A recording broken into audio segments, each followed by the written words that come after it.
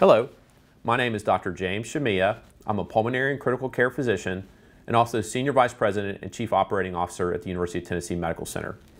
It's been about two weeks since we last updated you about the COVID-19 situation from a hospital perspective. There certainly have been developments since that time and it definitely appears to be related to the Omicron variant. So today we'll provide another brief update. This slide shows hospitalization data across the East Tennessee region. The region is defined as the counties at the bottom of the slide. And it shows the number of patients in all the hospitals across those counties each day. The purple line shows that about two weeks ago when I updated you, the hospitalizations were at 217.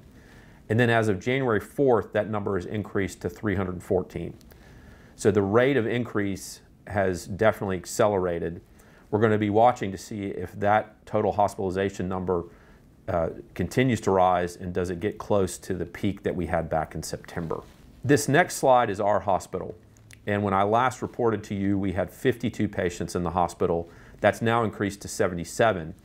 If you look at the graph on the right, you'll actually see that we, we dropped for a period of days and then really fairly quickly increased. So we've been getting a lot of questions about the relationship between boosters and hospitalizations, and we have a little bit of data now. So this is data from our hospital since November 22nd, and I'll walk you through it.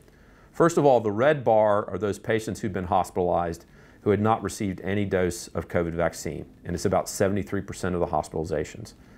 Then about 2.9% had started a, two-dose series but not finished it. About 20% had completed a full primary vaccine series but had not been boosted, and another 4.4% had been boosted. Now remember that a lot of these patients still did have other comorbidities, or uh, meaning other medical problems that predisposed them to being in the hospital. But what this shows is that still the vast majority of patients in the hospital had not received any vaccine dose.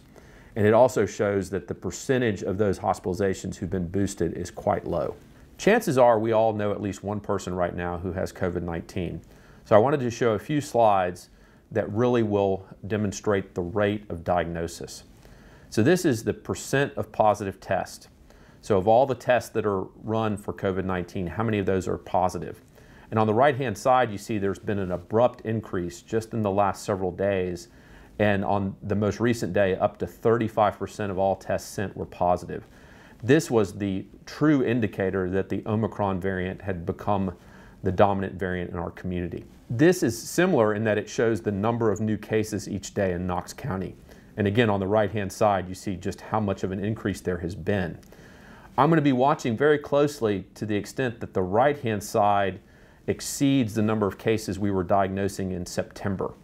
Because even though it may be that fewer patients with Omicron end up in the hospital than Delta patients, uh, if more total people are infected, then that can still lead to a very significant number of hospitalizations. It's also important to note this time around that many patients are taking home tests, and those home tests typically will not end up in this data. So let's spend just a moment talking about treatment. For many, Omicron will be a mild upper respiratory illness requiring only supportive treatment. There are a few outpatient treatments, but the supply of all three medications is limited. First of all, there are two oral medications. Both are twice daily for five days. Currently, they're only potentially available at select Walmart pharmacies. And I say potentially because on any given day, they may or may not have supply. So prescription for one of the oral medications will not necessarily guarantee access. It will depend on supply.